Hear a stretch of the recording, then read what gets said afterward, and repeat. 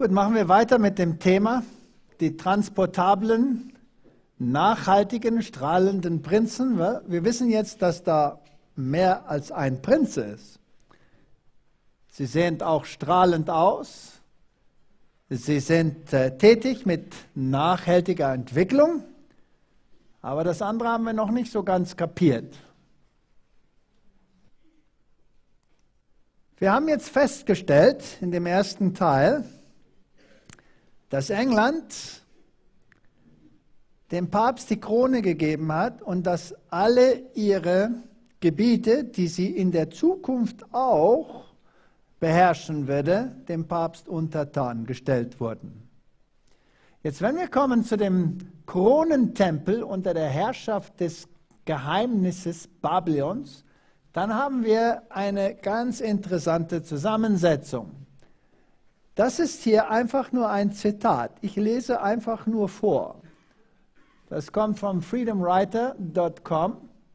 Und diese Person hat es ergriffen, glaube ich, das Regierungs- und Gerichtssystem in den Vereinigten Staaten von Amerika gehört auf Bundes- und Ortsebene der Krone. Aber diese Krone gehört wem? Gehört dem Papst. Das ist eine Templerkrone. Darum haben die Templer in ihrem Zeichen auch diese Krone und das Kreuz. Einer privaten ausländischen Macht. Aber bevor wir vorschnell schließen, die USA seien im Besitz der englischen Königin oder die britischen Königsfamilie, diese Krone wird weiter unter ausführlich dargelegt und erklärt.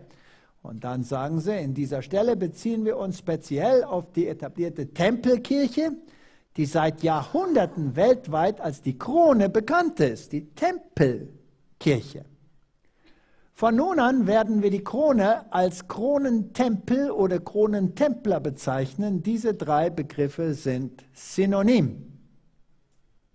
Jetzt das ganze Rechtssystem im größten Teil der Welt Juristisch gesprochen, die USA wird durch den Kronentempel von der unabhängigen und souveränen Stadt London ausgesteuert. Faszinierend, da ist auch der Sitz der Königin, da ist auch dieses Gremium von all diesen äh, Bunden, die wir besprochen haben. Das private Federal Reserve System, dem Geldschöpfung durch die US Federal Reserve Banknoten obliegt, ist finanziell im Besitz und unter Kontrolle der, Kon der Krone in der Schweiz. Es gehört nicht den Vereinigten Staaten. Das ist eine unabhängige Organisation, die das Geld druckt. Und das gehört der Krone und wird von der Schweiz aus gesteuert. Wenn die also Geld drucken, wessens Geld drucken sie dann? Ihr eigenes Geld oder Kronengeld? Kronengeld. Der Heimat dem legalen Gründungsort der Vereinigten Nationen, des Internationalen Währungsfonds, der Welthandelsorganisation und vor allem der Bank für internationalen Zahlungsausgleich. Das wird alles von der Krone gesteuert. Also wer beherrscht die Geldmacht in der Welt? Die Krone. Was in einem wirklich die Augen öffnet, ist, dass der Mitteladvokatenstift der Kronentempels öffentlich zugegeben hat, dass es unter, der, unter den Unterzeichnern der vorgeblichen amerikanischen Unabhängigkeitserklärung mindestens fünf Tempeljuristen waren, die durch feierlichen Eid allein der Krone unterstehen. Jetzt wird das faszinierend. Also wenn da eine Unabhängigkeitserklärung ist und die wird unterschrieben und beide Seiten sind Templer, dann haben wir juristisch eine ganz interessante Lage. Was passiert denn das? Beide Vertragsparteien dieser Übereinkunft identisch waren, nämlich sie waren Kronentempler.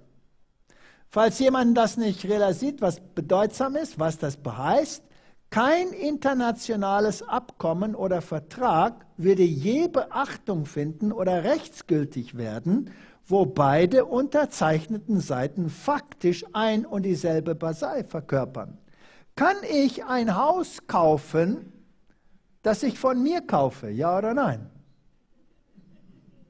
kann ich zeichnen als Verkäufer und Käufer von meinem Haus, ja oder nein? Nein, das ist nicht ein gültiger Vertrag. Also hier ist was ganz Faszinierendes passiert. Es ist nichts als ein wertloses Stück Papier ohne legale Autorität, wenn die zwei Zeiten im Grunde identisch sind. Sie waren alle Mitglieder des Kronentempels.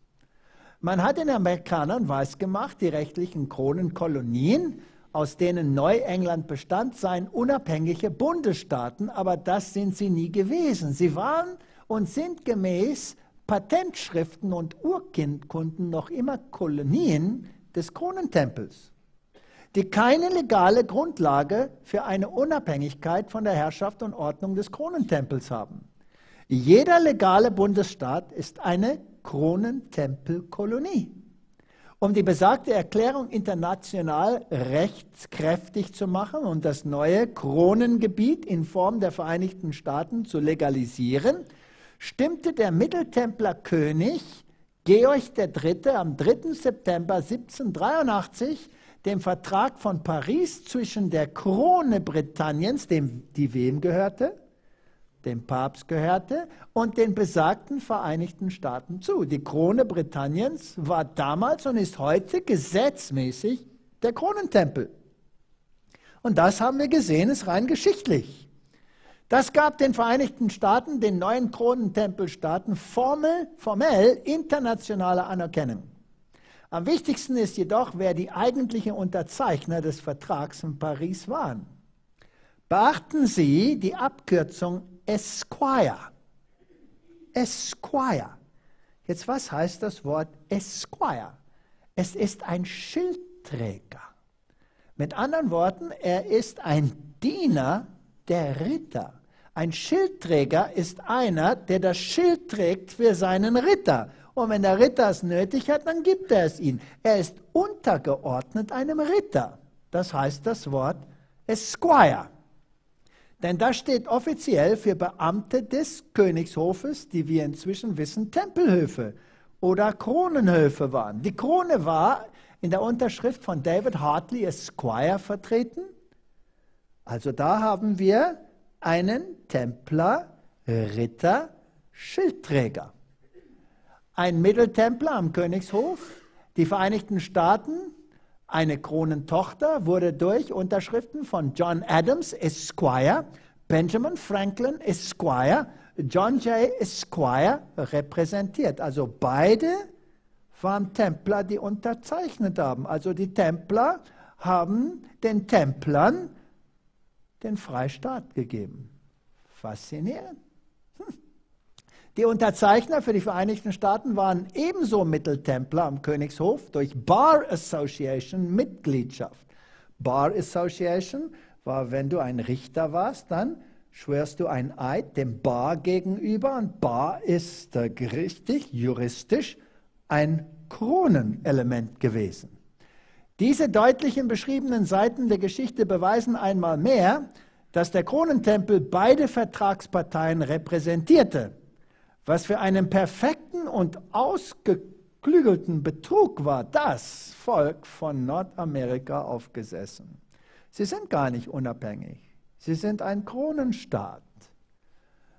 Die Weltherrschaft hat heute viele Namen. Die neue Weltordnung, das ist der Favorite der Bush-Familie. Der dritte Weg nach Tony Blair und Bill Clinton. Die Illuminaten, die Triade, Triangle, Trinität, Freimaurerei und so weiter und so weiter und so weiter. So schreibt diese Person. Aber absolut korrekt. Beide Parteien, wenn die unterschreiben, dann ist das nur ein internes Memo, das ein neuer Kronenstaat entstanden ist. Also die Krone, die Königsfamilien, die Kirche und die Nationen sind Untertanen Roms. Ganz legal, ganz geschichtlich korrekt. Da ist nichts dran zu rütteln. Also die Königin ist dem Papst untertan und jeder, der den Papst besucht, in dieser Untertansrolle, trägt schwarz. Und der Papst trägt weiß. Der Knecht und der Herrscher. Also Königin Elisabeth hier im schwarzen Gewand beim Papst. Wiederum bei Papst Johannes Paulus in Schwarz. Wieder ein anderer Besuch, auch in Schwarz. Sogar Prinzessin Diana in Schwarz beim Papst.